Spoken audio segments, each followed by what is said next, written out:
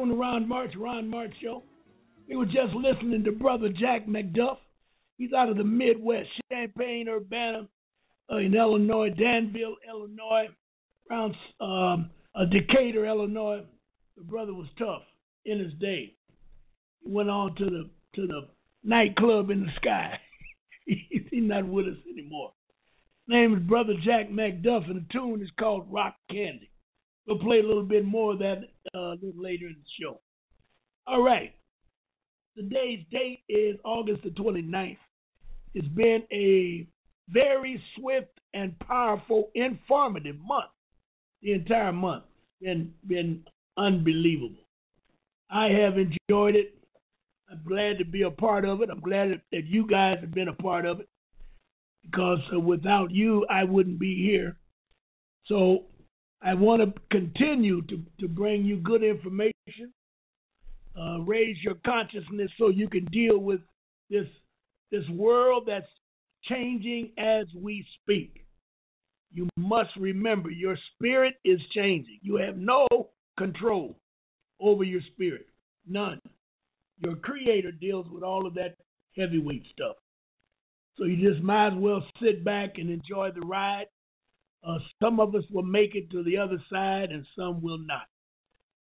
But you can't say you didn't know because we are, told you all about it. We told you it was coming. We uh, gave you all the information or some of the information that you need. Some of you took it, some of you didn't. So I can't do any more. I can take it to the water, but I can't make you drink. So let's let's get down to business for today. Now, today's show, we're going to deal with mortgages. We're going to talk about securitization. Securitization.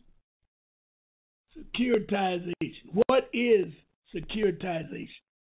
Okay? I'm dealing with a computer that I'm not that familiar with. Uh, if I want to change, uh, see how I can get out. I don't see how I can get out of it. If I push this down, escape, nope, that ain't do it either. But we, uh, if I take this out, how do how do I get this out? You have any idea?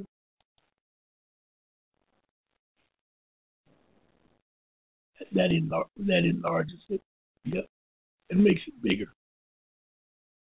Uh, let's go with what we have on the screen. Securitization, as it is being used today, is illegal. It is illegal. And, uh, okay. Uh, you didn't show me how to turn it off. All right, good enough. Yep. Okay. Securitization, minimize it. Then there you go. I keep minimizing it. Securitization, as we use it today, is fraud. It's crooked. It's illegal. It really shouldn't work. However, several people have went to jail dealing with uh, securitization. What it amounts to is, I was trying to get a, a good definition because what it amounts to is taking a note or a secured interest Remember, I talked about secured interest. Taking a secured interest and monetizing it and selling it on the open market. And they'll hold it, well, actually, they collateral, collateralize it. And then they sell it on the open market. So if I tell you I have a piece of, was that purpose paper, that is expensive. I show it to you. I tell you it's worth uh, a hundred thousand dollars. Uh, I sell it to you for seventy-five thousand at a discount. Okay, you're going to hold on to it. Meanwhile, I got this from an individual who's making payments on this paper, and as long as they make payments, the paper can stay alive but because it is collateral, collateralized, collateralized. Once they stop making payments, the paper goes down to zero. Okay? Now, when the person that bought it for seventy-five thousand realizes he's got a problem, he's going to ask for his money back. He wants to be recuperated, recoupment, recoupment. It's a kind of a, a business banking process that Enron, a lot of people that was dealing with Enron back in the early 80s, late 70s, early 80s, they went to jail because they were collateralizing uh, uh, stocks, documents, and taking in money that they didn't have, almost uh, like a advanced pyramid scheme. So anyway, what they're doing today is along the same line. They're taking your ticket item, whatever that ticket item may be, that ticket item, such as a automobile, a boat, airplane, mortgage, a house, and they are selling the note after they collateralize it. Once you close and start making payments on a hundred thousand dollars, that that note will become a hundred thousand dollars in thirty years. So it's a good investment for someone to purchase it for seventy-five thousand dollars because they're in their retirement mode and they won't need it for another 25, 30 years. And then when they get uh, uh, close to retirement or get ready to retirement, they can cash it in and and have a nice uh, uh, a uh, what they call it, an egg basket full of uh, goodies. Well, it all sounds good on paper. I was fortunate enough back in the 60s when I came to Detroit in 1964 I got a job at Chrysler Corporation. They were driving deuce and a quarters, uh, uh, 65 deuces, 65 Bonnevilles, 65 Catalinas, 65 Impalas. Everybody was leaning, talking out of the side of the neck, had their portable 45 uh, uh, exchanger in their cars, and heat and leaning posts. They were ready to go. But I went into the bank and asked for a loan to buy a 65 Continental.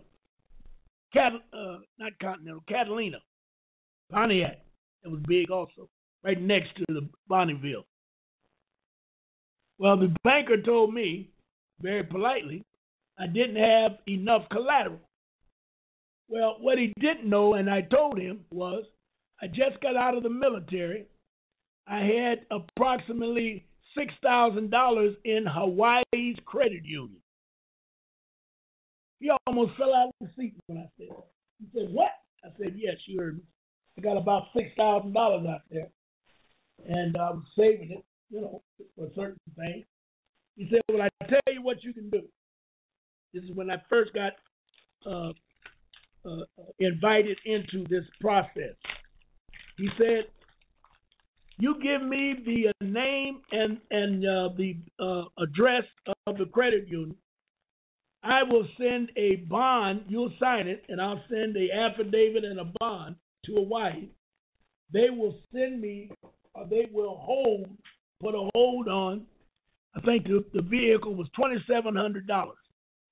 We'll put they'll put a, a, a hold on the vehicle twenty twenty seven hundred, and once you pay it off, you'll be the luckiest man in the world because number one, you'll still have your twenty seven hundred dollars with interest. You'll also have the automobile that you just purchased. So you really haven't lost anything. Everybody's happy. I'll make my money on the interest rates that I'll charge you up front. So he pulled out about thirty four hundred. It just came to me. He pulled out thirty four hundred dollars on a three year uh, uh, mortgage plan or a, a, payment plan. I forgot what my payments were. But anyway, it was all set up. When I paid that car off, I had a 19, in uh, 1968, 67, somewhere along in there. When I paid it off, I had a, a nice car, free and clear. I had my 2700 plus still in my credit union out in Hawaii. and uh, everything was hunky dory. He was happy because he made his money. Now, that's the way all notes are supposed to be dealt with. It's almost basic. In other words, if I borrow money from you and give you an IOU, because you're going to say I need uh, uh, collateral because I don't know you that well, so you got to give me something. So I give you uh, IOU. Well, you say, well, the IOU is good, but I still don't know you. So I say, well, what about that guy right there that you know, right there in the bank? He said, yes, I know him. Good guy. I said, if I get him to sign, would you? Would can I get the money then? He said, oh yes. I know he's a good guy. Been been around here a long time. Everything is hunky dory. So the two of us sign. I tell him I'm going to get 2,700, but I'm going to pay you 3,000 back. Everything's good. Now, when I pay the 3,000 back, the first thing I want is my IOU. You may tell me anything. I just lost it. Um, I think I uh, gave it. I wrote a note on it and gave it to my, my daughter to take to school. She needed a note.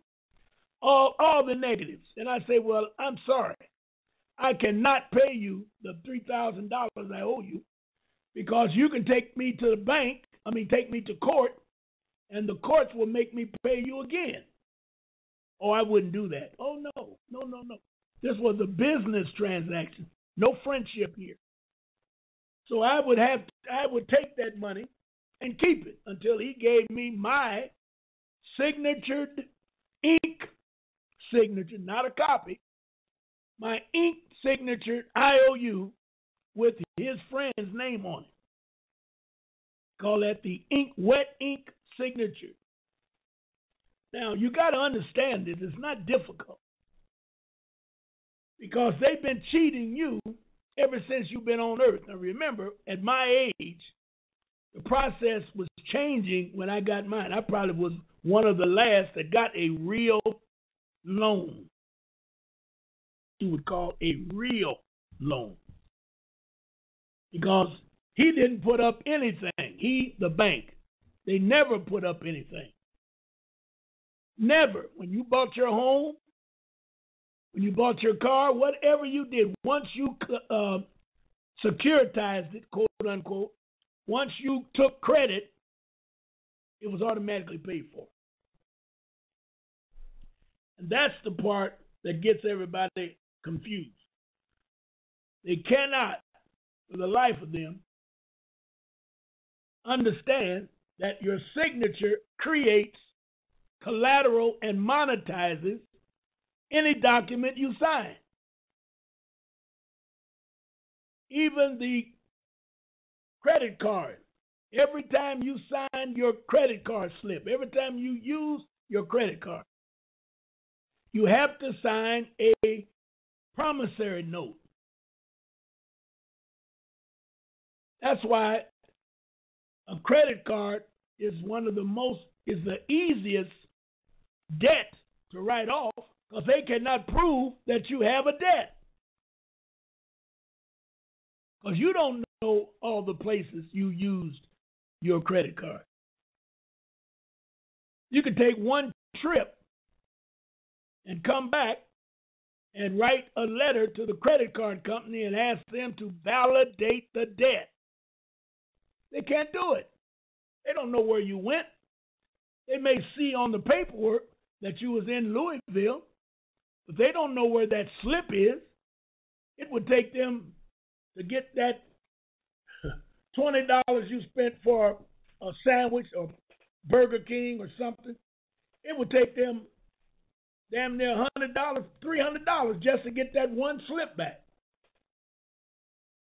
I don't believe you understand the severity of this. After going to the meeting, our our uh, uh, seminar last week, my mind has been spinning on all the corruptness that this system has been doing to me. And with my background, I can pick it out because I know a little bit about banking, a little bit about mortgages, enough to see that they've been ripping me off. And if they're ripping me off, they're showing up tearing you a new one because you don't know what the hell you're doing. You just so happy to get the new car or the new house, you don't think about nothing. And then, out of your idi- idiocy, you'll have throw a party when you pay off the house. Talking about I'm gonna pay, I'm gonna have a a a, a burning mortgage party because I paid my mortgage off. And that's one of the most ignorant things I've ever heard of. You gave them three, four times as much as the house is worth through penalties and interest because they always take their interest monies off the top. When I borrowed that 2700 for the car, he didn't pull 2700 down. He pulled 3400 down. He took his $600 right off the top. And I'm not sure about the numbers, but I'm trying to give you an example. He pulled that money right off the top. When you use your credit card, when you make your payments, you all you got to do is look at your look at it. They take that interest rate right off the top. If you pay a hundred dollars on your account, you don't get a hundred dollars assigned to your account. You get a hundred minus the interest. That's about the only honest thing they do, and that is to snatch their money off the top.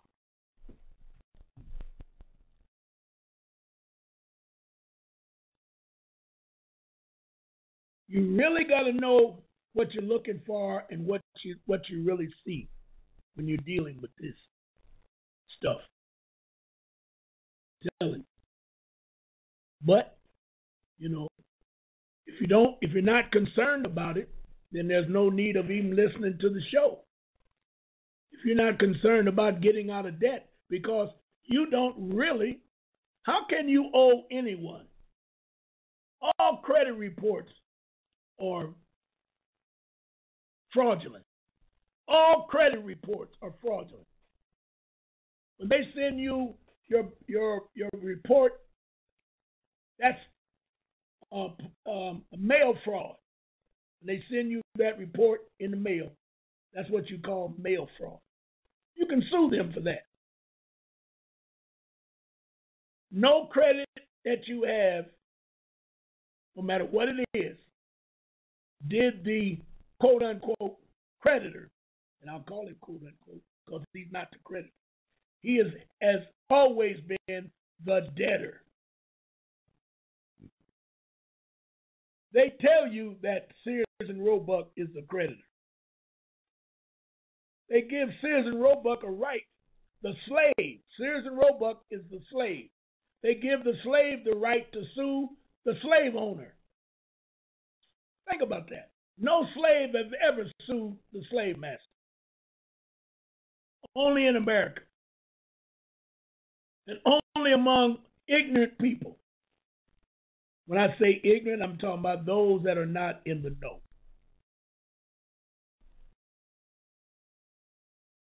And it shouldn't be. But what, what can you do? If you don't know, you don't know. Let's let's move on. Let me see if I can.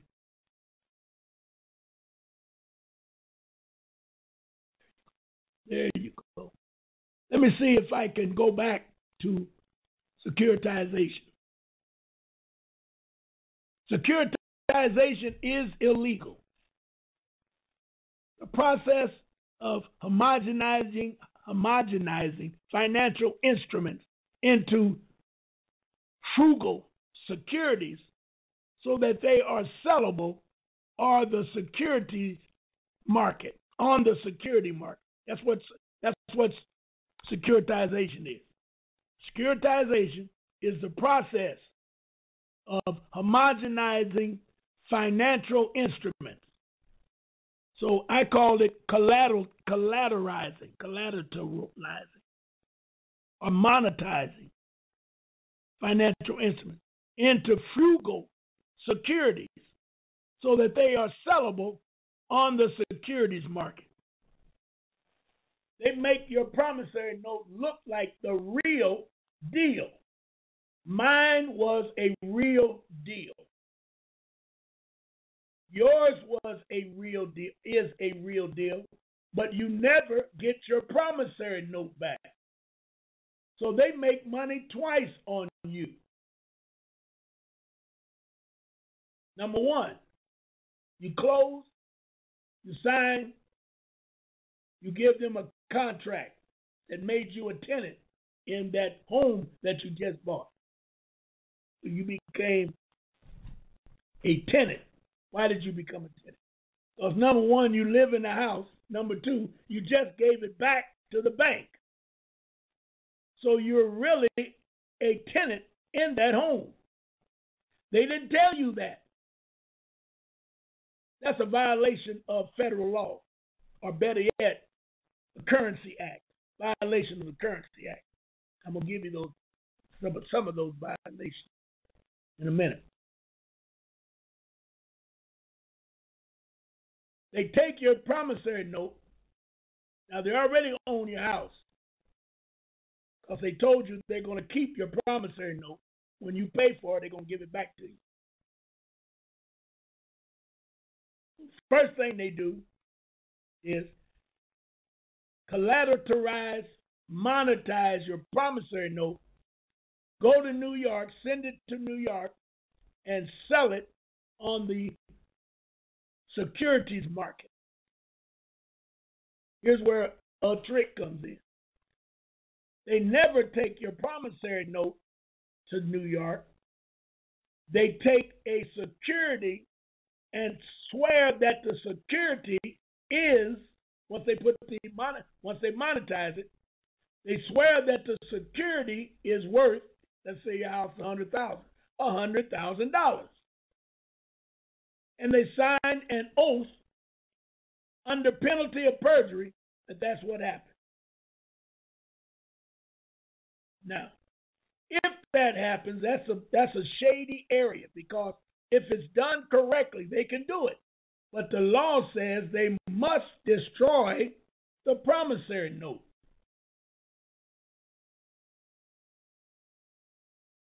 Once they destroy the promissory note, the mortgage goes defunct because there's no note to go with the mortgage in order to foreclose or to give you your note back because they destroyed it when they flipped it and made a security out of it.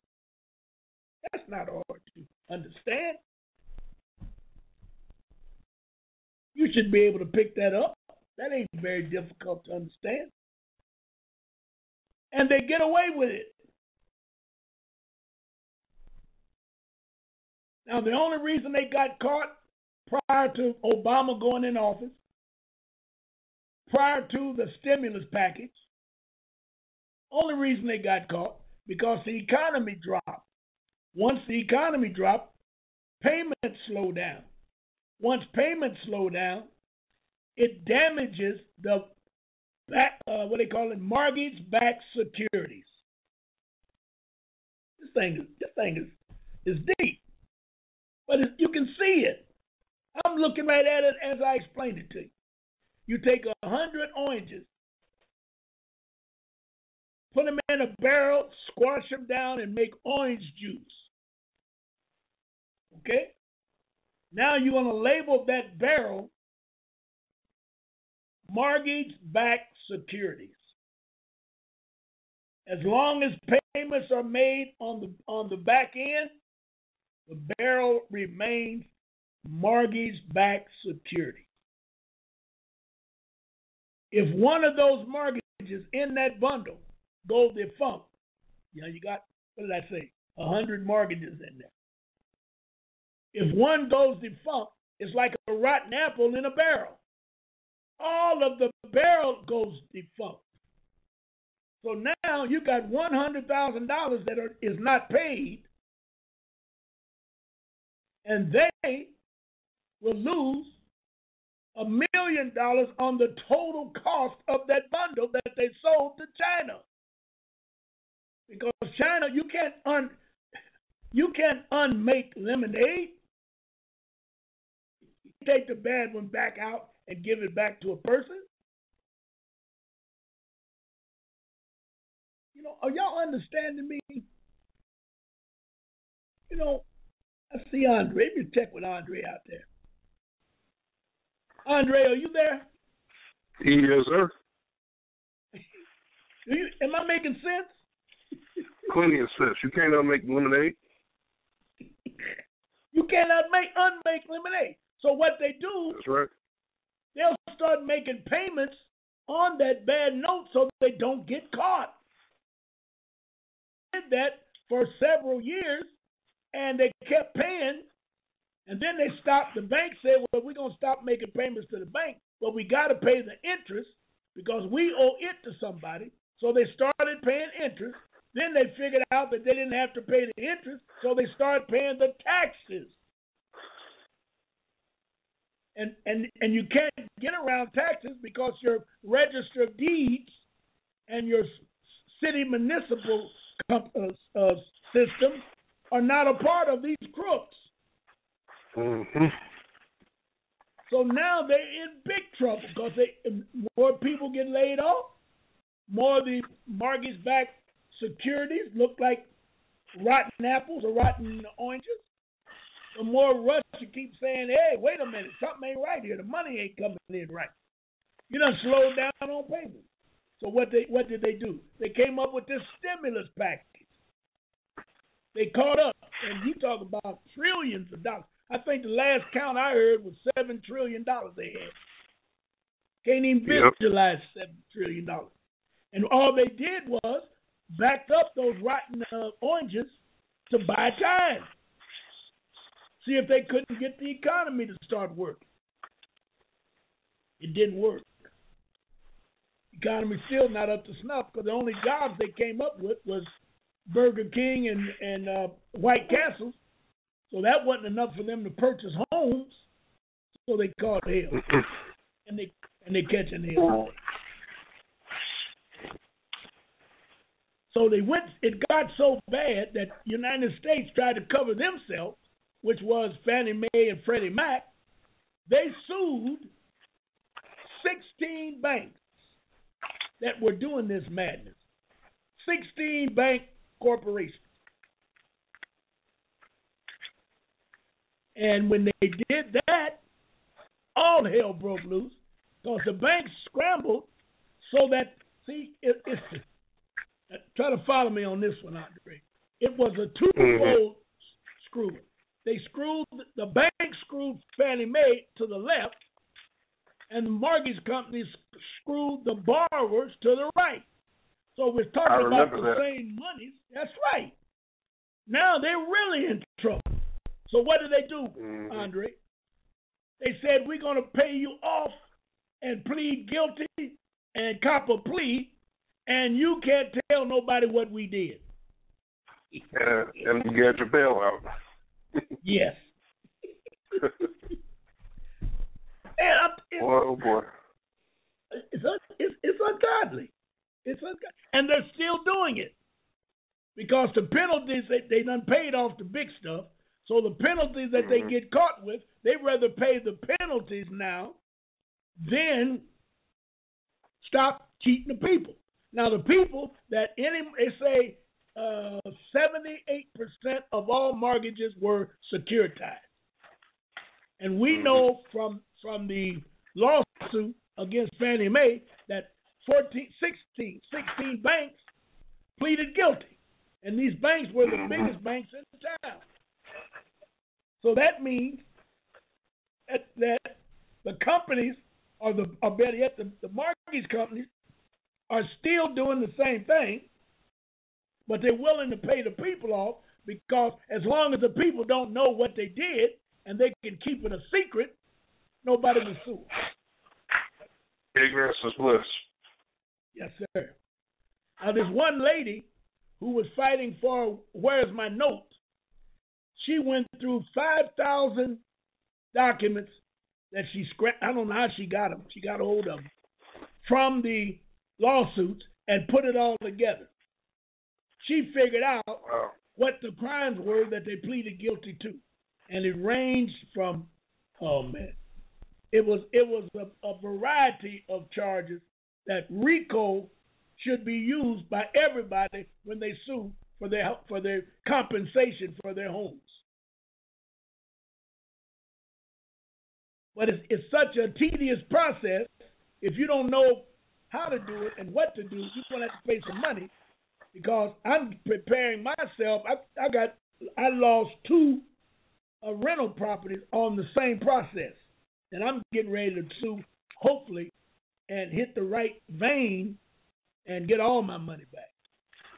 Cause they when the when the lady threw her mm-hmm. suit in that I'm talking about, they gave her ninety five dollars and made her sign a gag order. Ninety five million. What am I talking about? Ninety five dollars. Ninety five million dollars and told her to keep her mouth shut or she will go to jail. But now, since the government stepped in, I think the government even took her her her case and realized she she brought up stuff the government didn't even know.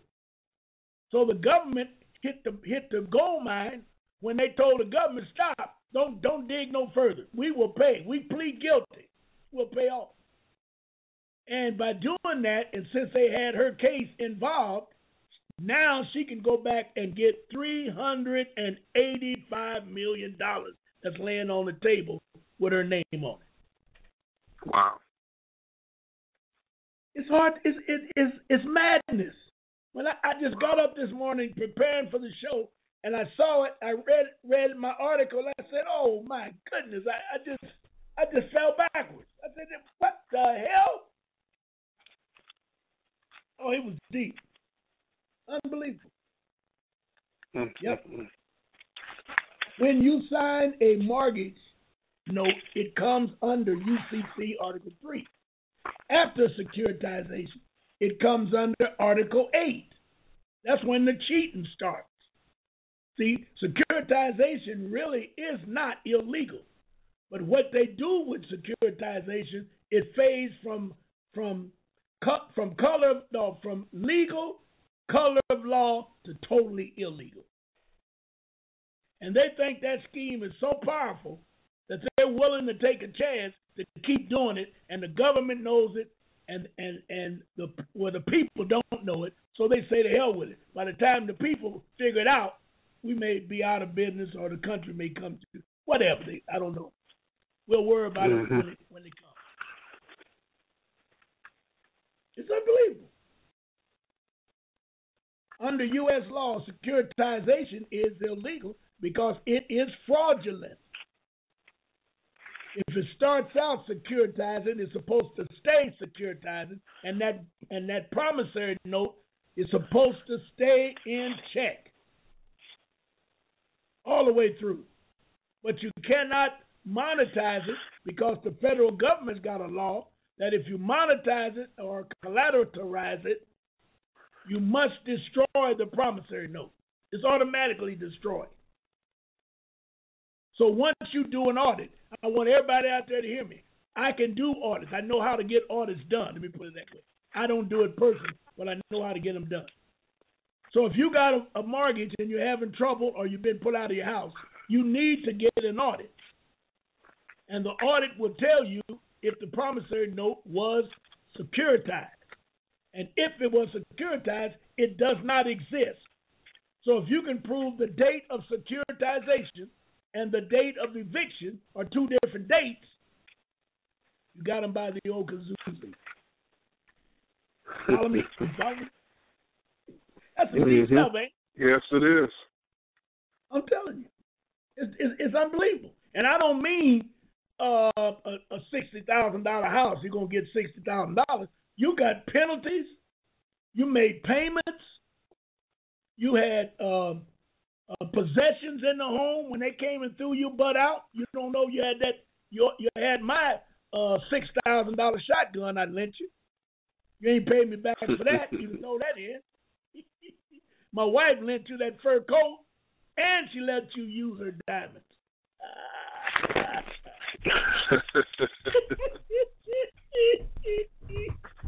Unbelievable. Wow.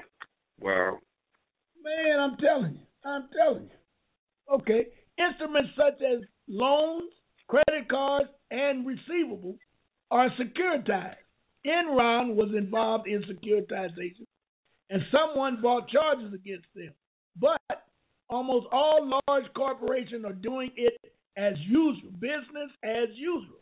However, the banking system and the government are also doing it. See, the gov- like I said, the government didn't know what they were doing until that lady got involved in it. And they when they when they saw what she was doing, the government said, "Whoa, wait a minute." Mm-hmm. They, they ripped us off. They, we want that uh, seven trillion dollars back. And and the I mean, think about it. Think about the arrogance of a corporation. You just got caught cheating people, and you got the, the nerve to say, yeah, okay, we'll pay the fine and here, blah, blah, and we're going to keep on doing it. They probably made the money back already. You know they They did. don't want they do not want to give up that income, that money income. And people are no none the wiser because if the economy starts booming again, don't nobody care. They are. They don't care. They'll they'll keep making payments because they got the money to make the payments. And they definitely don't want to fight because you know fight ain't in everybody to fight. Yeah, everybody can't do it. Yep. This one lady, uh, Jean Keating, you might have heard her name before, brought a RICO suit against the bank. But it was thrown out. Now, what does that tell you? Yeah, John talk about Jean Keating a lot. Yep. But he would have done better now that he knows more about it. See, people are learning as we go along. And that's what I was telling uh, my uh, uh, paralegal. We don't want to leap out there too soon because there's so much information coming in. We need to make sure we got our ducks in, in, in, a, in a row. In a row, yeah. Yep. Yeah. And all it is is all accounting. Whether it is the bank, civil, or criminal court, it doesn't matter. It's all the same. And once you realize that the that the court system, which is the judge and prosecutor and or the attorneys, they don't use the prosecutor a lot because it's civil case. They're all crooked. They are all in favor of the mortgage company and the mortgage companies pay them well to put their careers on the line to represent them. Because once it comes down the pipe, they're going to throw everything on them lawyers. That's how dumb they are. And Trott and Trott was one of the biggest crooks in Michigan because not only did they have representation for the for the mortgage company, they had a servicing company known as Process. I, I, I got it in one of the orders loan processing service. Those were the ones that were supposed to start collecting monies from the people. That's a conflict of interest. And they only told the people what they wanted them to know because if the people filed complaints, they used the RoboCops. That's what RoboCops, Robo signers. That's where they come. From. These types of Uh-huh. servers that know they're crooked, so they have uh, robo signers standing by. So when they ask for these certain things and they want ink signatures, they use a clause in uh, Article 3 known as lost or damaged note. And they tell you what you have to do in order to produce one. And you got it under oath, and then you got a whole lot of small stuff. But this is just Madness. Yes. Yes. And if you try to tell somebody, they look at you like you crazy. And then if you keep talking to them, they say, "Well, what you gonna do about it?" I don't know about it. You're telling me about it. Can you get mine back? Well, yeah, I can get it back, but it's gonna cost you money. I can't do this on my own by myself. Time, you got to dig out all the paperwork, whole lot of stuff. But I'm working on a process that I'm to streamline it so well that anybody ought to be able to file it just like you do a, a credit card. File, just file it in federal court because it's got to go through federal court because the mortgages belong and the corporations belong to the federal government. Isn't that something? Mm-hmm. It is all accounting, whether it's banking, civil, or criminal. FAS 125, securitizing accounting. FAS 140, offsetting of financial assets and liabilities.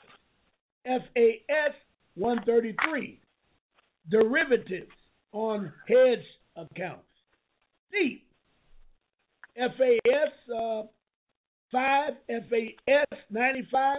See, I'm going to look up this FAS. I don't know what that stands for yet. But they, they set up the GAAP. They, they set up GAAP, generally accepted accounting principles. All banks are supposed to use GAAP and GAAS. Is that what the gap insurance when they when they say gap insurance? Is that what they're talking about? Yes. General accepted accounting principles. They're supposed to check when they do an audit. They're supposed to go in with this GAS GAAP principle and use it to check the books to make sure everything is copacetic. Right. The banks are mandated by Title 12 USC to follow GAAP and GAAS. They have a local ASB and an international IFASB. They also cover derivatives. FAS 140 relates to UCC. I sent you this last night. UCC 3 305 and 306. Did you get, yep, did you I get got what it. I? I got it. Very interesting. Very interesting. Very interesting read. Yeah. See, Jonah proved a point to me, and that is the system is our system. It was set up by us to protect us. I know this is hard to believe, but everything I'm telling you is on the books. Jonah showed us that when he brought out the Currency Act. Everything we need to get free financially is in the Currency Act. But the name of the game, they don't teach us how to read legalese and they hold back on information. I would bet you most people don't even know what a Currency Act is. And and Mhm. and surely when I say 1864, because that was the last time we put a, a currency together to protect us, because the Europeans took over in 1865 after the quote unquote Civil War. So you know they wasn't going to create nothing that was going to hinder them. So what Right. they had to do was hide, trick, and and miseducate everybody on what was on the books because they wasn't allowed to change the books. That's why they were known as statutes at large. And that wonderful word that I, I, I forget to use so often. Have you ever heard of stare decisis? No. When I heard that, when I heard that the first time, I looked at Bobby L. I said, Bobby, what did you say? He said, stare decisive. I said, are you pronouncing it right? Are you are you kidding me? I ain't never heard that shit before in my life. He said, look it up. I looked that baby up, uh, Andre. You know what it said? What? It's a it's a it's a protection on statues at large that they can never, ever, ever changed or challenged. Because they're stare decisis, which means that they've already been tried, tried, and tried again, and they can't break it. So they just put it Wow. up and call it stare decisis. Wow. Ain't that about Are you nothing? close? Ain't that something? Are you close to a dictionary? Or, or, Actually, or, I actually I am. Give me a- Give me a minute here. I'm going to pull up my Black's Law Dictionary. All right. I want you to take a peek at that. Stare. Just, I told Bobby L. I said, man, good God Almighty. He said, yes. He said everything we need is already on the books. He was talking Jonah Bey before I knew Jonah Bey. Before there was I a didn't Jones realize. Yep. I didn't realize that that brother was was was was so up on it because you know how Bobby was. Bobby stayed with the history of the Moors more than he did commercial and stuff like that. But when you get it up, I want you to look up Stare Decisive. S T A R E. Stare. Stare Decisive? Yes. D E C. All right. All right, stare is two words. S T A R E. Mm-hmm. Second word is decisive. D E C I S I S. All right. What is six? Looking it up now. Looking it up now. Okay. All right. They're decisive. And see, this Stare is why the judge. Wow, the book. Yes. This big gigantic book open right to it. I got it right here. Wow. okay. What is it? Stare Decisive. Man, this is a long ass definition. Here we go. All right. To abide by or adhere to decided cases. Policy of course, to stand by precedent and not to disturb settle point, which is what you just said. It's been Yeah. tried and tried again. And then they got a, a couple of cases here and here. Neff versus George, 364. Illustration 306. 4 NE 2D 388, 390, and 391.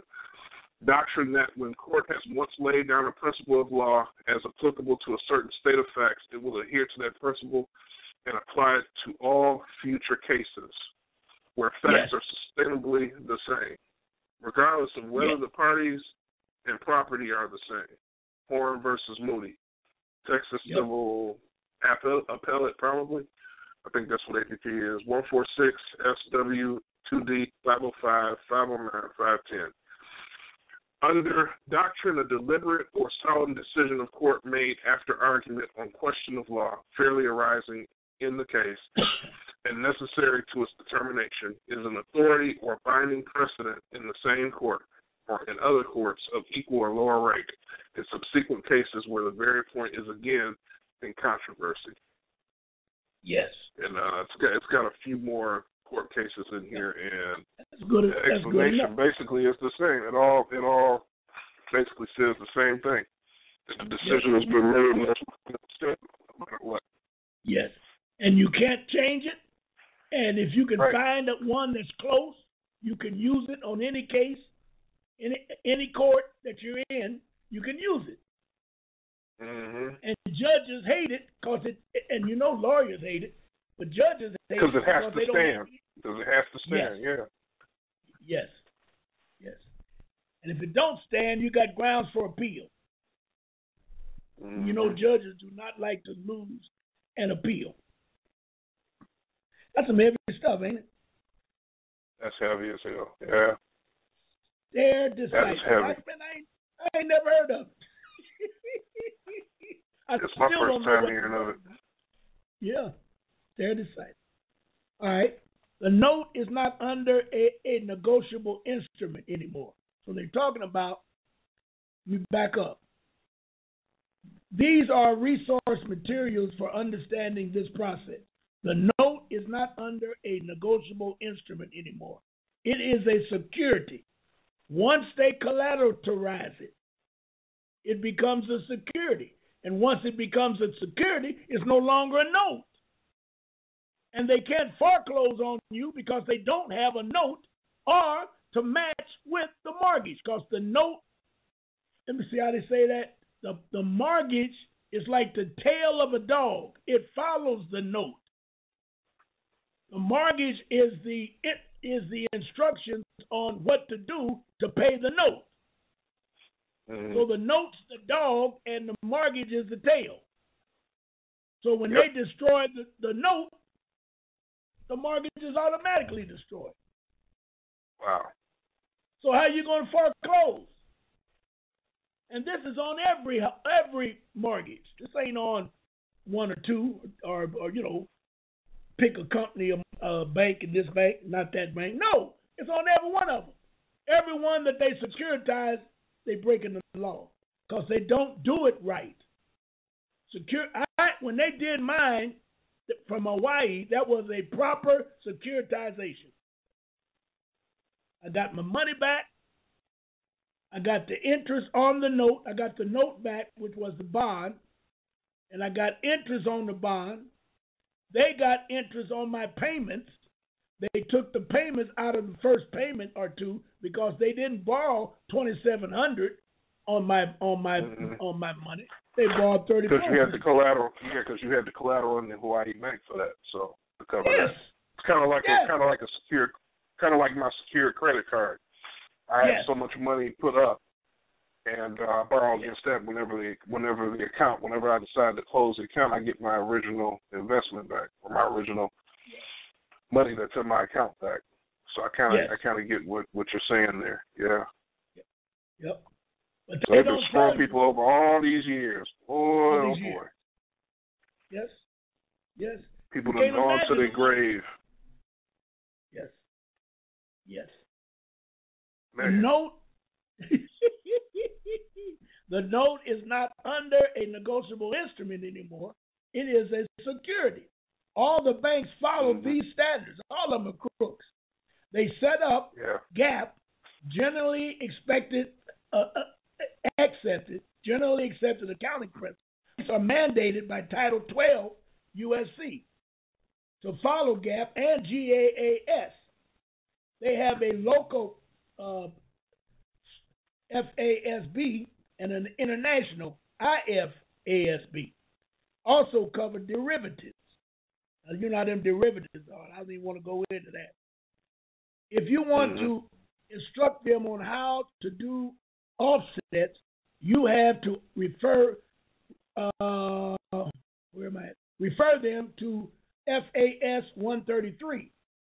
We back up. FAS 140 relates to UCC 3 304, 3, I mean 305, 306. If you want to instruct them on how to do offsets, you have to refer them to FAS 133.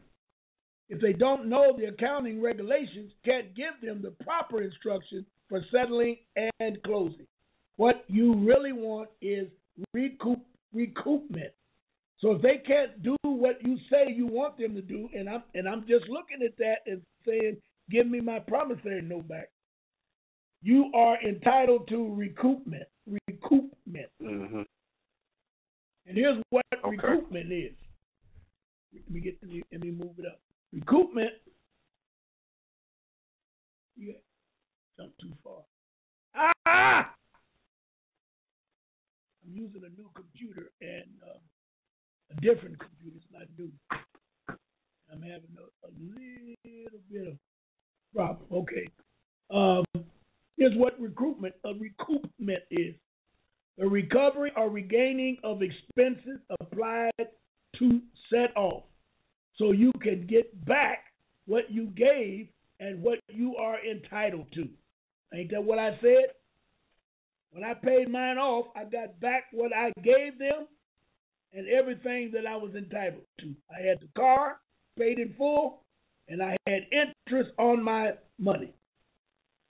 The withholding for the equity part are all of something that is due.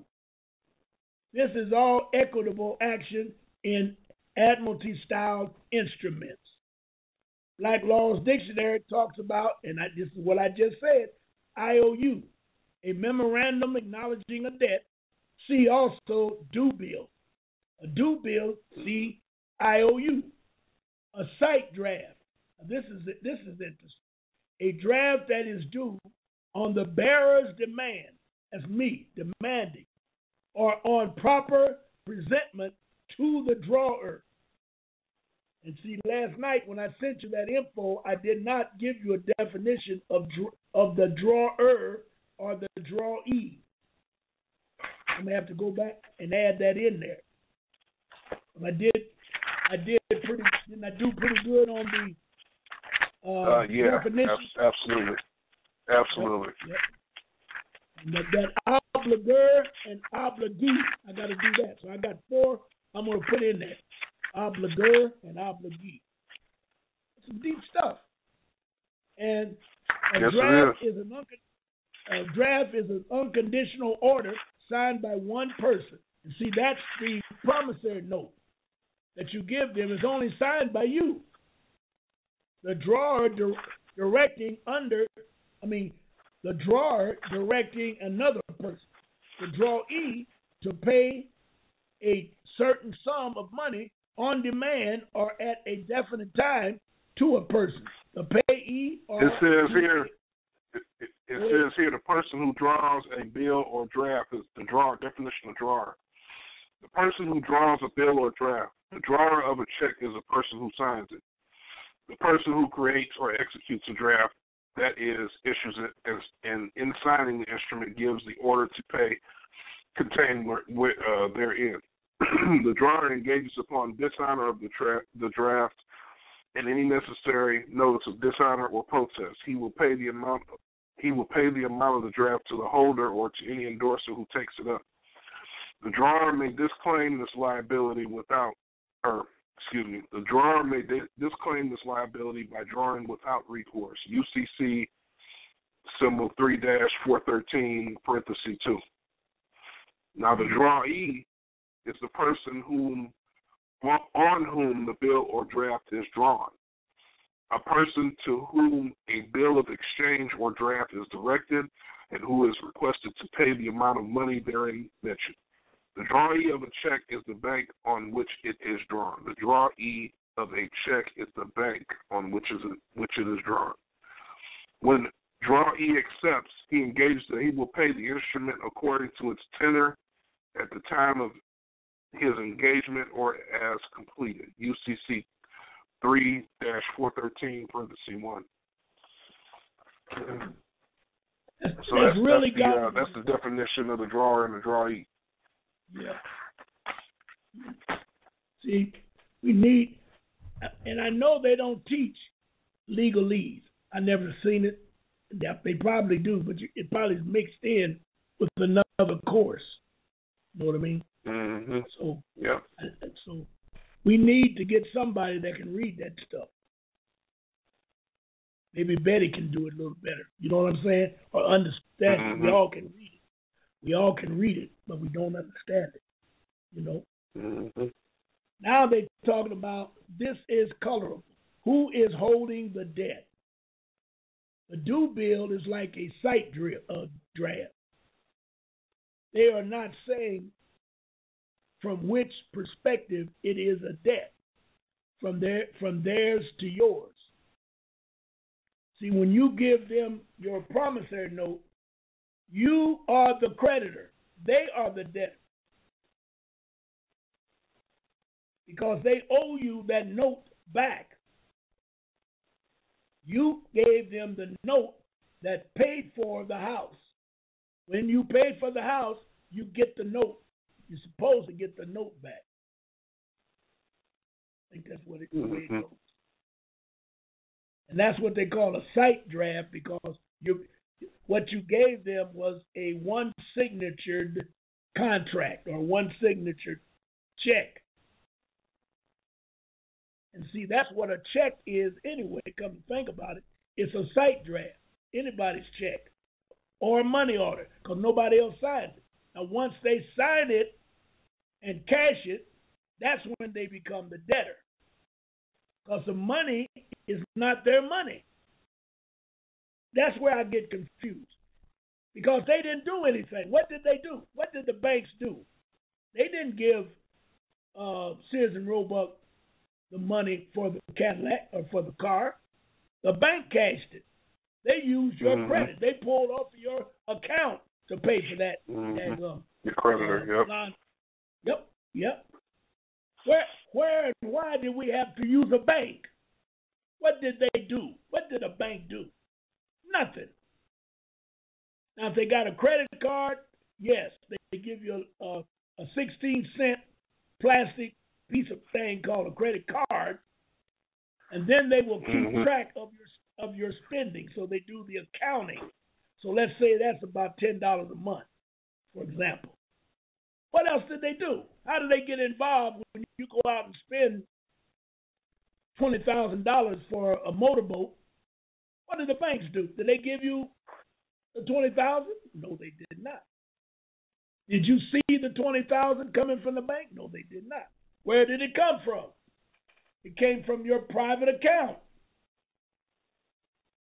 Because when you filled out your application, you gave them your EIN number and they had had access to your Siskiyou account.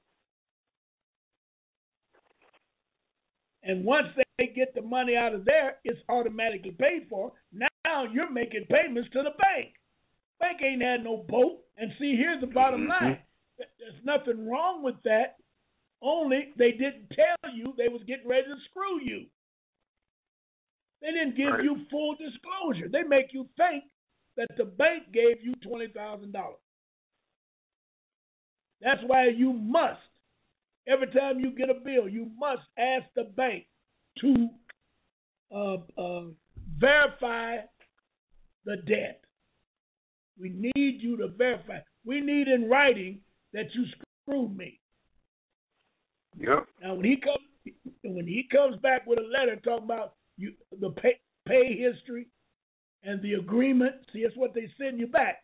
Pay history and agreement. That has nothing to do with the twenty thousand dollars. Answer: You need to do a, and you we talked about it last night, Andre. You need to do mm-hmm. an administrative administrative procedure. Administrative process. Yep. Yes. Yes. Yes. Yes. Man, man. You see, you see how powerful this information is, and all of that come Absolutely. out of Saturday. Jonah was talking about that on Saturday. But you got to be yep. creative to think. And as I talk to you, you're you're beginning to think and see how they're screwing you. Mm-hmm. A due bill is like a sight draft. They are not saying from which perspective it is a debt from theirs to yours. The party receiving the IOU is the debtor whoever you gave your promissory note to was the debtor because the IOU is an asset. It's worth something. They give you nothing. It is an instrument. You are the originator. You have monetized their system with your signature. Ain't that what I ain't that what I've been saying? Yep. Same thing on the on the live birth record. When mama signs that paperwork, she monetize, monetizes it. Mm-hmm. And once she gives up the uh, uh, power of attorney, they can put any amount they want on it. She don't know the money's in, the, in her account. So what difference does it make? Whew. Ain't that something? Well, boy. It's crazy. And you man. are in an asset and you is an asset instrument, but I mean asset instrument, not a liability instrument. This is one of the places where you have your perspectives change. When you got that promissory note and you sign it, you are the kingpin. You're the top of the line. And when mm-hmm. you give it to them, you're still the top of the line because they haven't done anything, nothing and it's already monetized because you signed it. Under the Constitution, the government was not given authority to create money.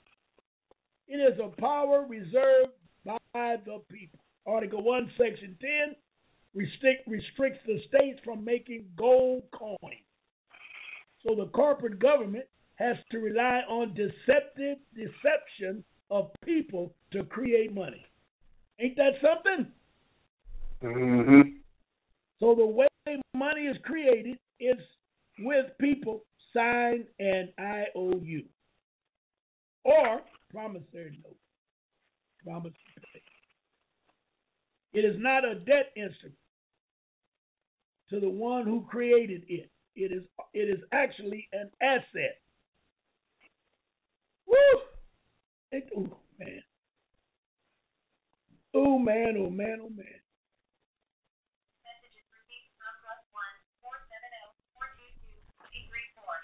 Man, oh man. Well, I'm telling you, man, this is a very eye awakening. You know what I mean? Yes. Very eye awakening. They've been getting away with it for so many years. That's the that's the crazy thing about it. Yep. And That's what John means when he says we're we're illiterate because we don't we don't. It's not that we can't read words, we can't comprehend what the what this legalese and all this stuff is. Yes. Yes. So, So now I got a hundred. Let me see. Let me see uh, if we have any callers. On the wrong. I got the, I got the wrong job. Let's see if we have any colors. Uh, we got. We don't have any questions. And this is uh, kind of my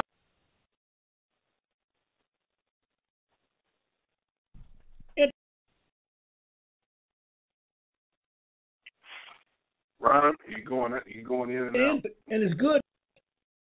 Oh, so let me get over here closer. Wow, Yeah, we that's better. Yes, better. losing Yeah. me? No, it sounds better now. All right, good enough. All right, we got questions for the bank. I'm gonna get off of that for a minute. You, uh, it's a request to admit, and you're writing this to the bank, or you're asking the banker. You're re- you are requested to admit, for the purposes of this proceeding only, the truth of the following facts. I won't read them all. I'll just tap at them. What was the purpose of the borrower coming to the bank? The answer would be for a loan. That's why I came here for a loan. Were the funds to be paid to the alleged borrower or seller of the house? The check was written to the seller. I didn't know that. Well, I didn't because I don't go to the bank. The the real estate people goes to the bank to get those checks. The check written, does it uh, represent the asset of the bank? It did not. I do not, better yet, I do not know. The check written, does it represent an asset of the bank? Are you following me on this, Andre? Yes. Okay. Um, is it a bank policy to first deposit money into an account before writing a check on that account? And the bank would say, I guess so. Mhm. Where did the funds originate to fund the check? Answer, what do you mean originate? Did the bank originate the funds for the check or did the borrower originate the funds for the check? Again, I don't know. The bank came, the money came from a pool of money at the bank. Now we know ain't no money in the bank. Mhm. Number seven, according to your understanding of the agreement, do you believe the bank or borrower was the original, originate, originate the funds to issue the bank loan check or did issue the bank loan check? I think the bank was the one who originated the loan. To the best of your knowledge, where did the funds originate from? From a liability. Really getting complicated. So you say a Yeah. liability. Banks have assets and liability. Can you explain to the court the difference between an asset and a liability with respect to a mortgage? Answer. An asset is something you own and can sell. A liability is what you owe. Is it your position, your own uh, mortgage? Is it your position you own the mortgage note? Yes, the bank owns the owns it. Did you issue a check based on the value of the mortgage note? Yes. Then the asset you used to issue the check was that a mortgage note? Was that of a mortgage note? Yes. Is it your belief that the bank has a standard operating policy? I think so. Are banks' bookkeeping entries in conflict with in conflict with banking laws? No. Are banks' bookkeeping entries in compliance with banking laws? Yes. Are you aware that in this country, banks can lend money? Yes. Wow. Trapping. Does the law provide what kind of money the banks can loan? I don't know. I am not an attorney. Is there any particular definition of money under that act? I don't know. Is it your position that your your bank loans the kind of money reported by the act? Yes. Is it presumed that the bank will not act unlawfully given the nature of the laws governing activities? He didn't answer. Do you know what money looks like? Yes. Can you describe what money looks like that was to be loaned to the borrower? Yes. Please describe that what money looks like. The witness, the bank describes greenbacks. Is that all the money in the United States you are aware of the banks using? Yes. What is credit? The same as money. Wow. Wow. How much was the wow, loan? really? Uh-huh. Yeah. Ain't that something? How much was the loan? A hundred thousand dollars. Is that hundred thousand dollars in cash or cash equivalent? Is that hundred thousand in cash or cash equivalent? Yes. What did the bank have to loan the borrower in order for the bank to legally own the promissory note? You're really trapping them now. Want to know? yeah. Is the bank if the bank refuses to loan a hundred thousand dollars, is it your position that the bank still owes the owns the promissory note? If the bank refused to loan the hundred thousand dollars, the bank would not legally own the promissory note. Was the borrower was the borrower to loan the bank anything? No. Was the borrower to deposit anything? No. Man.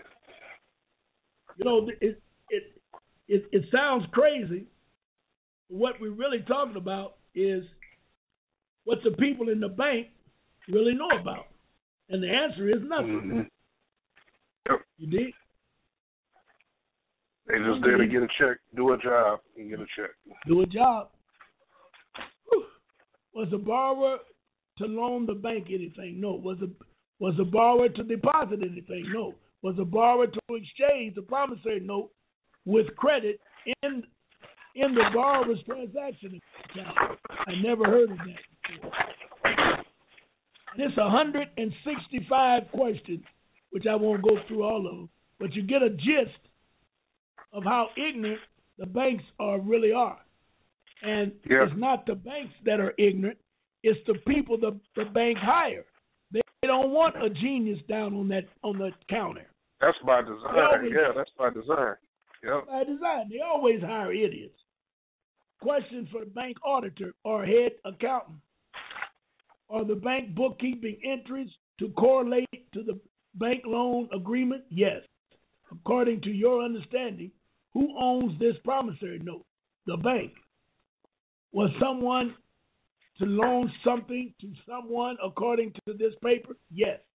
Tell me who you think was the loan actually exactly let me see. Tell me who you think was to loan exactly what to whom according to this. The bank was to loan a hundred thousand dollars to Mr. Victim.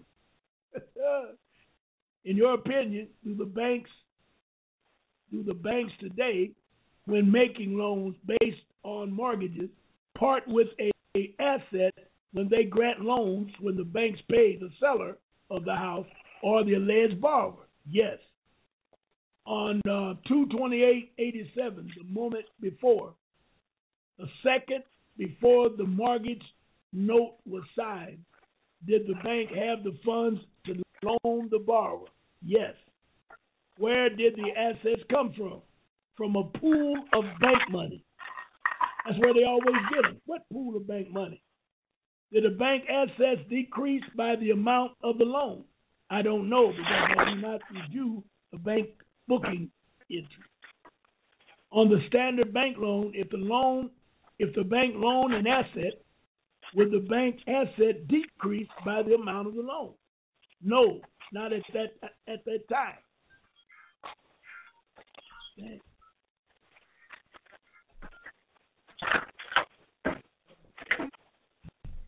Uh, not at that time. Where am I at? Uh, when uh, when will it not decrease? When the bank replaces the borrower's promissory note with the deposit's depositor's cash. Oh, is the bank actually non-cash or opposed to the check? Normally, it is a check. Do banks' liabilities increase if these checks is deposited at a bank. You know, you see where they're going. You see where they're going with this. I won't read anymore. They're just questioning people that work in the bank, and it looks like they had them on the stand, and they were supposed to, you know, like cross-examine these, these individuals. And uh, in so doing, they come up with all these silly, unfounded answers. So that lets gives you a little idea of what you're working with when you're dealing with these mortgages. Unbelievable. Let's take a a, a quick. Can I take a quick a quick break? And um, I'll be right back. Let me see where I get this music on. There you go.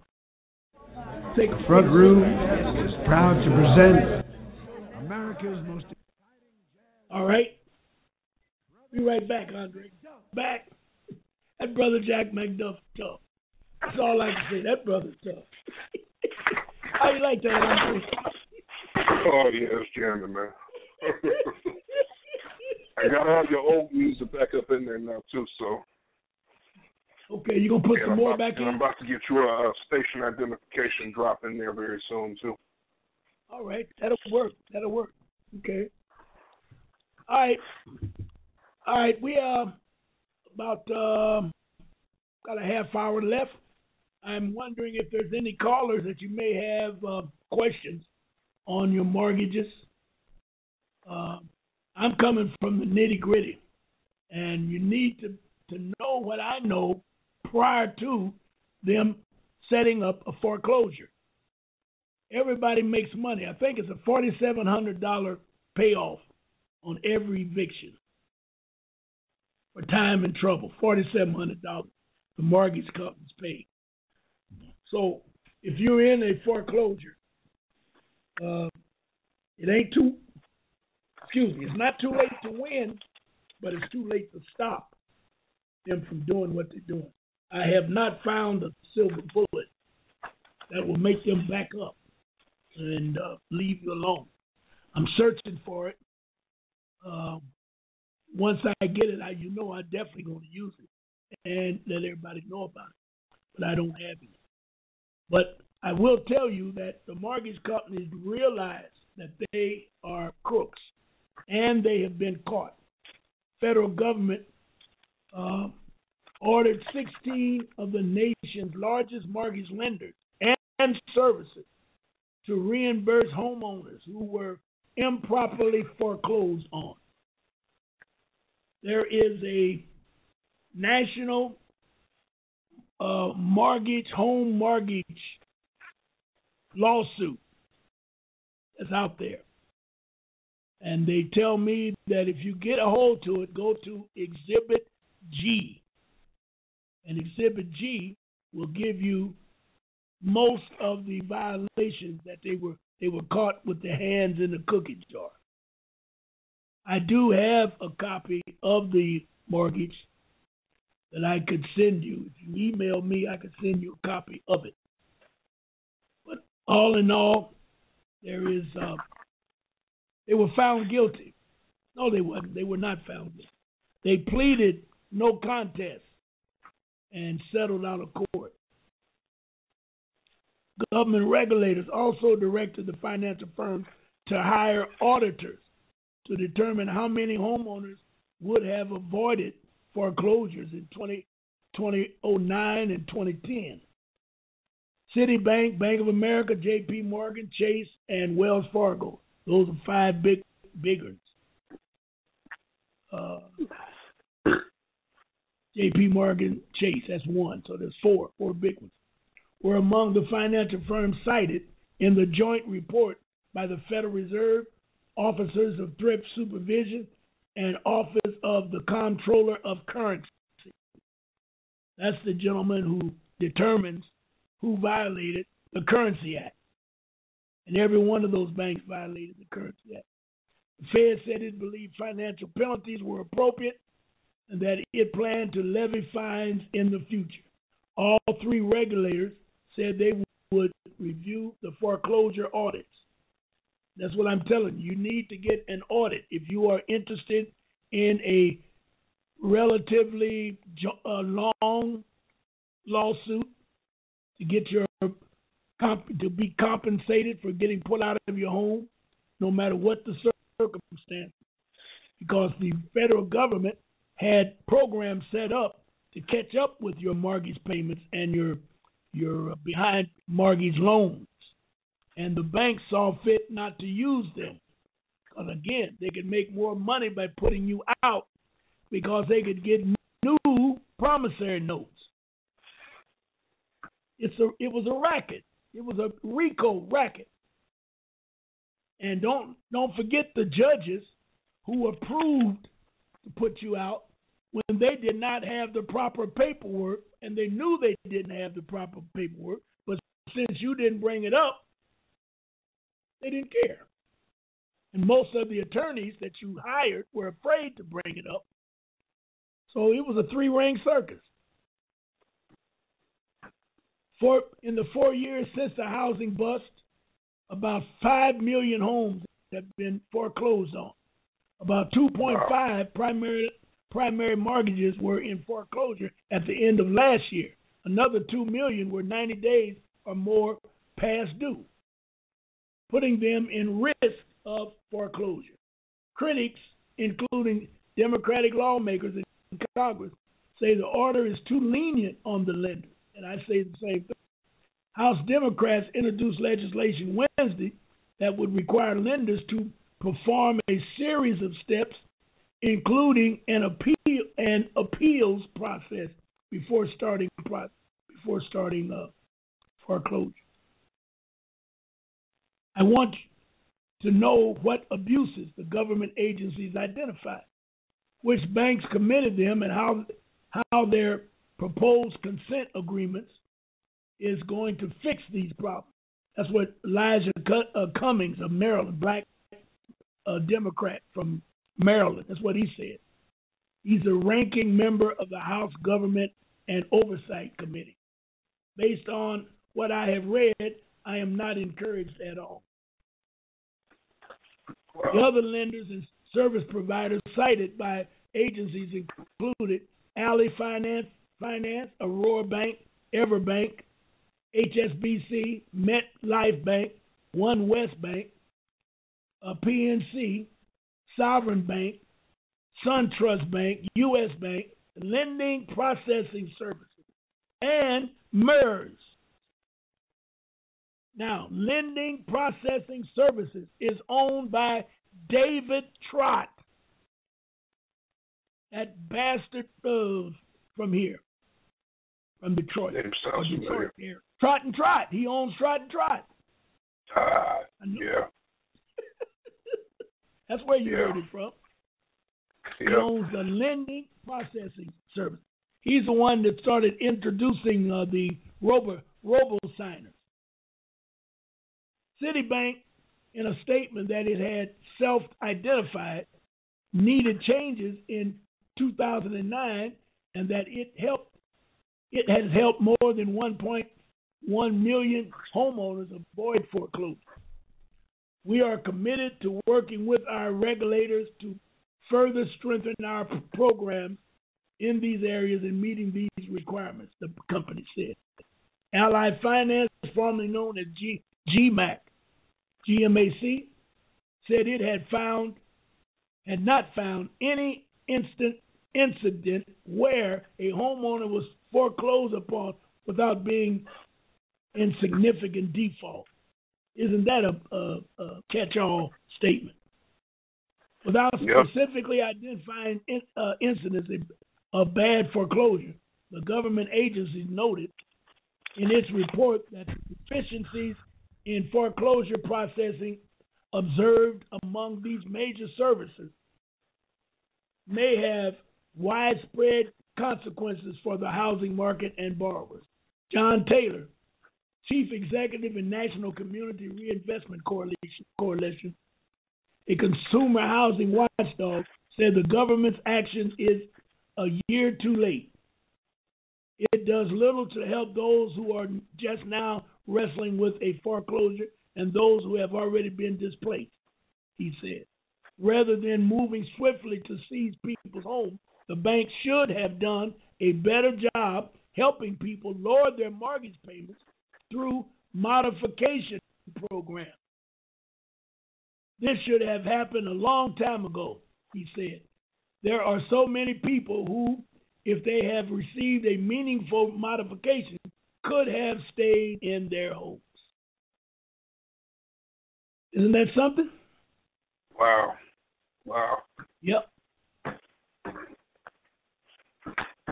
I'm telling you, man, it's uh when I read it, I just and it was several articles, I just went bonkers just printing them out. Mortgage fraud process.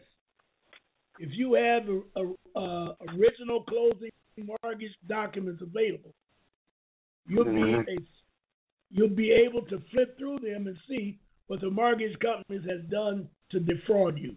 The two main documents that I will be re, re, referring to will be the note and the deed of trust or the mortgage. The note is commonly referred to as promissory note.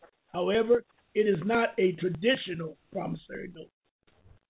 First thing that I'll tell you is that at the end of this mortgage fraud settlement process, which takes two or four months to complete, faster if you need be, based upon your individual circumstances, you will have free and clear title to your home. The reason I They say don't that- want that. no, no. The reason I say that with confidence is because you are the rightful owner of your home. Look at the deed of trust. Your name is on it. You've already paid for your house. It was paid for in full before you even signed the papers at escrow. You didn't even know it, nor was it disclosed to you. See, that's the part that you can get them. They never disclose to you what they've done, good, bad, or indifferent. Nine times out of ten, it's indifferent, and they never disclose that to you. The promissory note starts out referring to you as a borrower. It talks about the borrower's promissory promise to pay. Following these words, it says, in return for a loan that I have received. After that, it says, I promise to pay. And then the actual dollar figure is listed. I've looked at mine a hundred times. That is exactly what it says. Then the promissory note mentions the installment payments and interest. Then the note says, in return for a loan that I have received. Then a date is listed on that note. The question is, when you went to the title company or escrow company and signed all the documents for your mortgage, had you already received a loan? That's an important. The note that you Yeah. signed says at the very top, in return for a loan that I have received. What this is telling you is that you have received a loan sometime before the date you are signing that note. And guess what? Your real promissory note is your application that you sign months before you foreclose. I mean, not not foreclose. Before you close. Now think think back. You always put in an application and a little down payment. Am I right? Soon as you see a house that you want, you let the people know your your real estate know that you want that house, and they say, "Well, we got to fill out an application, and you need to put a little bit down so nobody else can get to the house." That Mhm. application creates the money that you're going to use to pay off. That's why they say in the promissory note that you've already received the loan. Ain't that something? All of that is fraud because they never informed you of that. Yep. You see what? You see where I'm coming from? The whole thing is fraud. yes. The question is, when you went to the title company and escrow company, you had already received the loan. That is important. That is an important question. The note that you signed says at the top, in return for a loan that I have received. What this is telling you is you received the loan sometime before the date that you signed the note. Let's say that. And they pulled it out of your creditor. They pulled, according to Johnny, he said that the, the, the all caps name is uh, at the bottom and that the creditor name is at the top of the loan. That's true. But that that one is is on your mortgage. I'm thinking on your. Uh, I got to go back and look, but I know you signed your upper cap name at the bottom of your application. Yeah. Now the question is, unfortunately, I haven't done it. Yeah, unfortunately, I haven't done a mortgage yet, but uh, this is good knowledge to have going in. Yes, yes, because you're gonna get screwed tattooed if you don't know what you're looking for. Okay, That's note that sure. you signed Yeah. said, "Oh yeah." Let's say that the that you signed the note on February the 12th.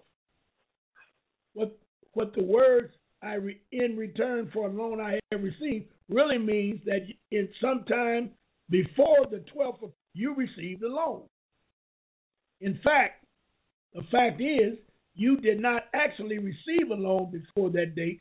Matter of fact, you never received any kind of a loan at all, at any time. There was no loan received or provided or provided you. These whole loaning you money to buy a house is a complete, total fraud. Now that couple of paragraphs in itself is your first violation that you can use when you start suing these people because they lied to you right from the beginning. And nobody told you that you were signing these papers and you had already received a loan, which you never saw. Never was a loan. The fact is, you did not receive a loan before the date that you signed the note. You didn't see a cashier's check in the mail a few days before you went and signed these papers, did you? You didn't get any kind of electronic transfer into your checking account before you you signed either. When we go to the title company and sign the mortgage document, we see the words at the top in return for a loan that I have received. We might think, I'll sign this, and after I sign it, I guess I have received a, a loan. But that is not what the documents say. If there is ever a legal controversy concerning whether you actually received a loan prior to signing or assume you received a loan at the time of signing, which side will you win? The side that argues their assumption or the side that argues the exact words. On the paper, you sign. You know the answer to that. It's the words on the document that will win. You have said, I received a loan, and you did not. Mm-hmm. When you see a document that states, in return for a loan that I have received, and we know for a fact that no loan was received, something odd is going on. When it says, have see, received in the past tense, as though a past event has already occurred by the date you are signing the note. We know that it was a, a meaning for that. It, it, it, was by design, as you say. Everything Mhm. in legal terms and legalese means something. The meaning of the word have received is the same event already happened. If you know that it didn't happen, something is wrong. Somebody is not telling the truth. Who is not telling the truth? As you take a close look at the note, something very interesting is taking place. Did you know that you created that note? Did you know that you created the deed of trust? If you closely examine the wording on the note, and the deed of trust, it will begin to make sense to you. It says, I will do this, I will do that, in return for a loan that I have received. I promise to pay. I understand this. I will do this, etc. Proceeds through the note. You realize that these are statements that have printed that uh, have printed out for you, that they have printed out for you, but you are the one who is signing the document. So it looks like you have produced and, and provided these documents, these statements to them. In signing these documents, you assert that in return for a loan that I received, it looks like they are tricking you into signing a statement that isn't true. You might think, hey, they they are making me sign a statement that isn't true. It's a lie. By doing this, the bank is putting that lie that you received a loan into your mouth. You are the one signing it and saying it, and that gives them a privilege to say the borrower says and agrees that they received a loan. So we'll we'll proceed on the basis of what they said and signed. Wow. Wow. Put that in your pipe and smoke it, eh? Ain't that something? Wow. They signed the paper saying that they've received the loan. We we go ahead and behave as though they did not receive it, and we require them to make payments. God, mm. That wow. is not fair transaction when no loan was provided to you in transaction. No money was actually provided to you as a loan. In return for providing a loan to you, you have to pay the bank a payment every month for the next 30 days, 30 years. But the seller got man, oh, paid Right. Where did the money come from? The next question that comes into play is if no loan was provided, where did the money come from to pay the seller of the house? The guy I brought the house from got paid. Where did the money come from? This is where the whole loan process gets interesting. you you got to get a copy of this and read this, Andre. yeah, yeah. I'll, I'll compare yeah. What happened in a normal real estate transaction with an analogy. Let's say that I advise, advertise my car for sale. I'm still driving a 1999 Honda Civic, even though it was it has 120,000 miles on it. You know what you know about Honda. They run long. They run for a long time. So, so I put on Craigslist for twenty four hundred dollars, hoping I could sell it at least two thousand dollars. You see, it advertised. You come over, take a look at the Honda. You offer two thousand. So I say that sounds great. You have a deal. You tell me you would like to pay by check. Is that a deal? I say, sure, I understand. People don't want to walk around with $2,000 cash all the time. You can write me a check. However, I'm not going to let you take the car until the check clears. Mm-hmm. You say, that's fine. We agree. We have a deal. You write me a check, I give you a receipt, and that protects your side of the deal. I take that check, I deposit it in my account, I draw funds off of it. The re- the rest of it I leave in the account.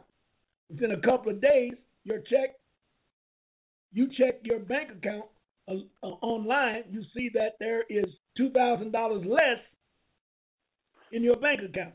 Furthermore, I can see that there is 2000 more in my bank account. Your check has cleared. That means you're going to come and knock on my door. We, we both acknowledge that the check is cleared. You say to me that it's time for, for you to take the car and the title. But I say to you, all right, I'll give you the keys to the car, but I, I've decided to change the deal. Wow. I'm not going to transfer the title over to you.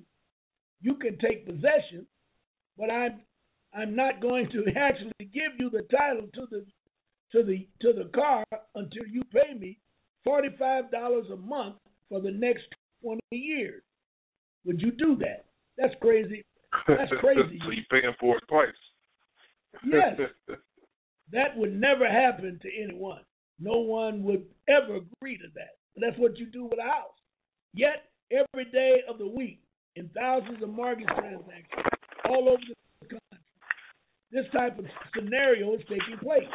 Bankers and escrow officers are writing these loans, making borrowers enter into these uh, uh, unfair arrangements for one exception to the car buying scenario, and that is disclosure. That's the word you got to remember, Andre. They did Yeah, not give you full disclosure. Yeah. I disclosed to you when you came to take full possession of the car that we both understood that the payment in in full had had been made. That's really the only difference between this car sale scenario and when people get into these mortgage loan arrangements. They never tell you that the car was paid for when you come back to get And it. that's why it takes that's why it takes you so long to close on the house. Yes, It's never really closing on it. yes. They have to trick you, and they do it through uh, t- time delay and your anxiousness to get into the new house. Yeah. And when the time when the time is right, it'll flip so fast nobody will ask questions. And there is not disclosing that there actually isn't any lending going on. They're not telling you that the note you signed is not a promissory note. It is actually a cashier's check or a bank note. When you look at how it is structured, when you sign your name to the note and hand that over to the lender, this is what happens to the note.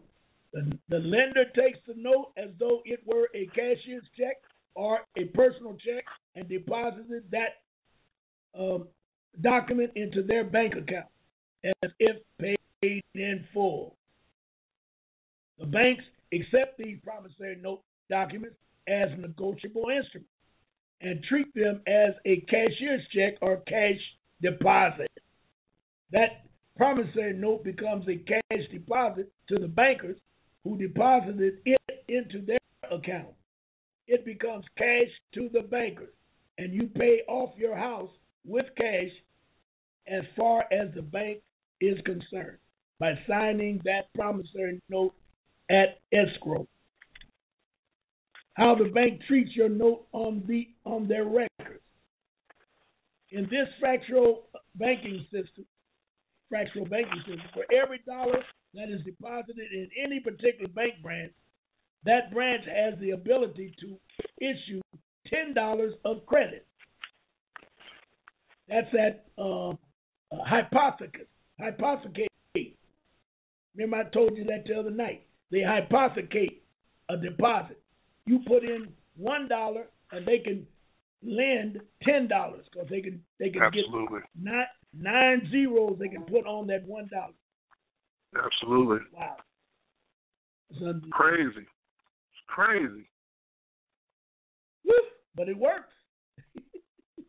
Your cash deposit, the promissory note, you sign that escrow, creates an asset they can use. Think of two hundred fifty thousand dollar note that is put in the deposit. That means two point five million to the bank. It's a great deal for the bank. It's not a great deal for you.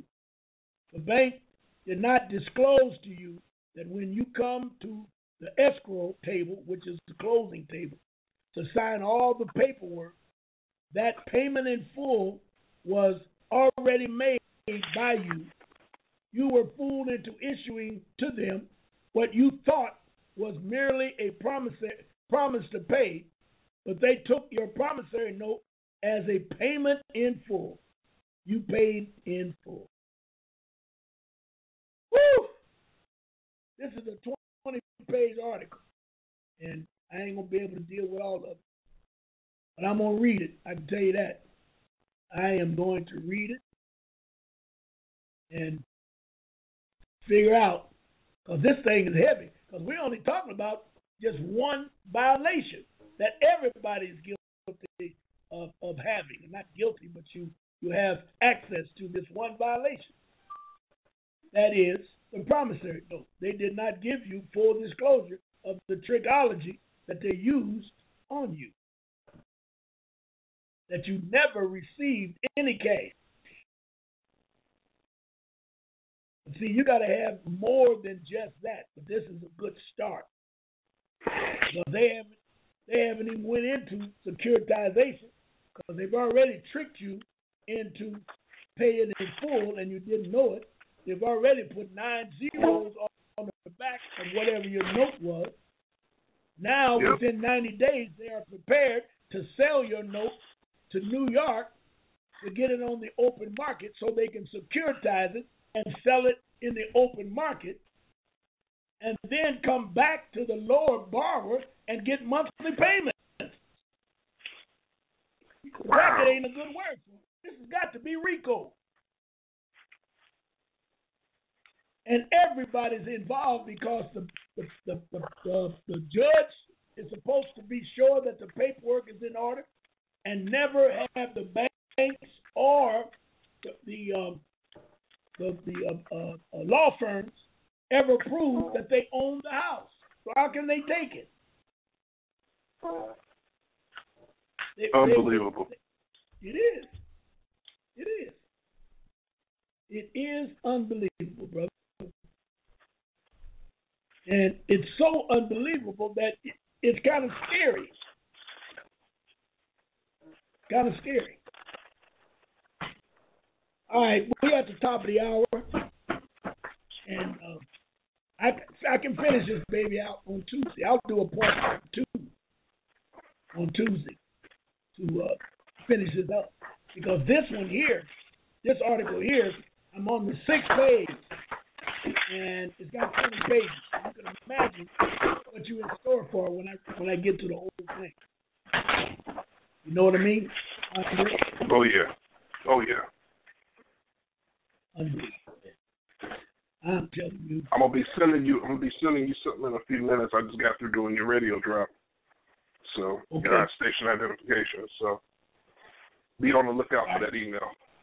Yeah. All right, I'm gonna I'm gonna stay online and and uh, play this play this jam again. That's because up. we're getting to we got about 20 seconds left, and I hope everybody. I didn't get a lot of callers today, but I got enough that they understand or they should understand where I'm at, and they can call me if they have any questions. Area code 313 656 7283. You can call me. And you can go to my website, ronmarch.com. And uh, we will have, well, we still have our uh, DVD in order on uh, uh, at the end of the weekend. Andre, you still on target? Yes, um, yeah, I'm, I'm finishing up with it right now, so I should have something for you uh, in the next day or two here. So okay, looking, we're uh, looking good. How many parts do you, are we going to have? Part one, part two, part ten? How many? Or do you know um, yet? I'll let you know. I don't, I don't know yet. I'll okay. let you know. Yeah. All right. All right. All right, good people. Until Tuesday at 7 p.m. Eastern Standard Time, uh, Ron March will sign off. And I appreciate it, the audience, and I appreciate the time. I hope you got something out of it. I'm going to do a part two come Tuesday.